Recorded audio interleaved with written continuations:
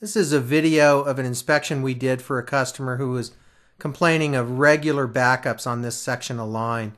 And here we are at the 25 foot mark and you can see right off the bat we've got root intrusion. And as we try and push through it, we're having a little bit of a hard time. So the root mass continues on behind the initial. So we managed to push through the back of it. There you go. So we jet the line. We go in after a little while, we inspect, and the camera shows us, well, we got half of it, but we need to go back in and get the rest of it. So we jet for additional time. And here you see the, the shredded vegetation floating by in the water. Now we push in and we look at it, and and it's whisper clean. Everything's gone. Cleaned it out nicely. But the reason for the root intrusion becomes really obvious at this point. You can see these large cracks going around the uh, circumference of the pipe right here. You can see it on the right side of frame right there, that big kind of a teardrop shape almost. And these long cracks top and bottom that are leading up to this area. So all of this happens to sit right under the corner of an apartment building. So not an ideal thing to dig up.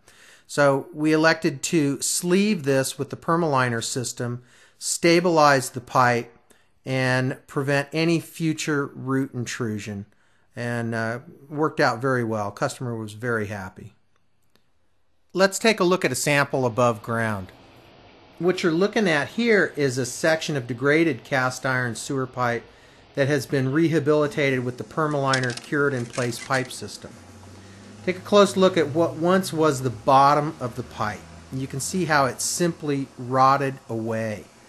We see this fairly often in older cast iron pipe and it's simply known as bottomless pipe. Now take a clo closer look at this material sleeve inside the pipe. This amazing process is installed as a flexible sock-like material that has been impregnated with a special epoxy resin. It's usually inserted from one small access hole. Typically, in four hours' time, you have a new seamless pipe that is highly resistant to roots, cracking, and deterioration. The beauty of this system is that you don't have to dig a huge trench the length of your repair in order to fix your pipe.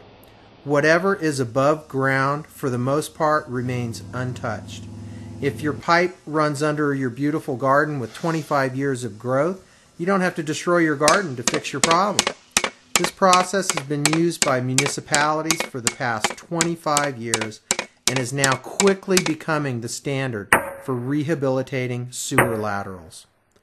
Our Permaliner system meets and exceeds ASTM standards for cured in place pipe.